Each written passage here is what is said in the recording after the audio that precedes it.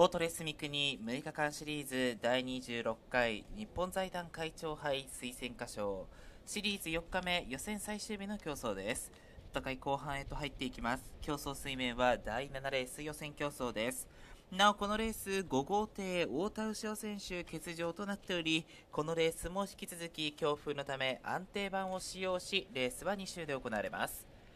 対戦メンバーは1号艇小川智之2号艇瀬能忠之。3号艇今垣幸太郎4号艇大塚康政6号艇中村英二以上5名で争われます。インに構えていきますのは1号艇の小川智之。昨日の2走はともに船券から美の走り本日11レースの2走まずは絶好枠で登場です。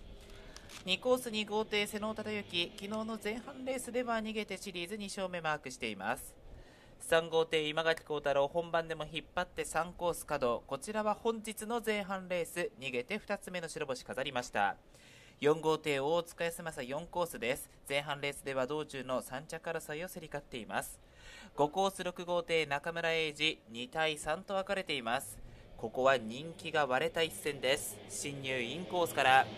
1番2番3番4番6番です。スタートしました4号艇の大塚と6号艇の中村好スタートを切っています。逃げの体勢1号艇の小川智之2号艇瀬能の差しにまくりに行った3号艇の今垣内からは4号艇の大塚です。内から4号艇大塚外には3号艇今垣間1号艇小川3艇の突破争い。その後ろ6号艇中村4番手2号艇瀬能最高峰でスタートは正常です。先前内から3号艇の今垣外を握った1号艇小川切り込む4号艇大塚でホームスレッチも3号艇今垣幸太郎2艇新前単独先頭。4号艇のの大塚2番手外からは1号艇の小川あとは水相手6号艇中村そして2号艇瀬能最高峰で最終周回です。先頭3号艇の今垣内から潜り込んでくる1号艇の小川それを差し返していくのは4号艇の大塚です。先頭は3号艇の今垣内から迫ってくる4号艇大塚ですがその差は3艇進。あとは離れて1号艇小川単独3番手の上位体系は341でこれから最終ターンマークへ向かいます。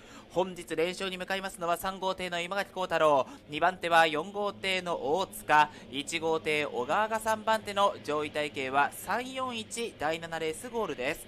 セットは3番今垣五輪。2番手4番大塚五輪。3番手1番小川が五輪。2番瀬能ラスト6番中村ゴールインです。